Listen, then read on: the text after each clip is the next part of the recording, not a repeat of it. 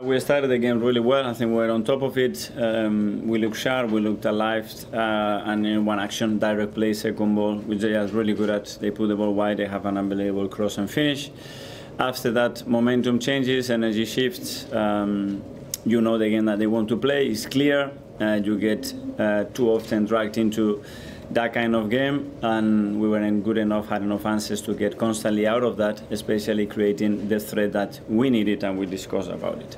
So at the end, yeah, you are relying on two, three big chances that uh, we had, uh, probably with Mikel, uh, two with Declan, one with Gabi, but uh, not enough threat to say any moment we can change the game and we can really win it. So that's the frustrating part, but uh, credit to them as well for what they do. Eddie Howe was asked about Arteta's comments in his post-match news conference. Arteta said you're very good at what you do and you can drag teams into the style of game that you want to play. Uh, how does that, how do you respond to that? It's, it's irrelevant to me what anyone says really apart from um, my team and that's how we've always looked at it because you, there's always outside noise whether that's wherever it comes from. So we just try to do what we do to, to try and win games on a consistent basis. We know that it's been inconsistent this season. We've had good bits, some not so good bits. I think generally the last few games our performance level has definitely increased and we've been consistent with it. The, initially the results didn't come.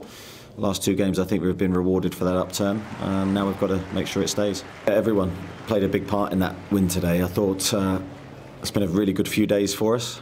Goes to show how, never surprises you, but how football can change quite quickly. Um, two big performances against two very good teams. Well, Arsenal's league form means that they are now seven points off the top after 10 games. They've failed to win four of their last six games. Arteta, though, refusing to write off their title chances.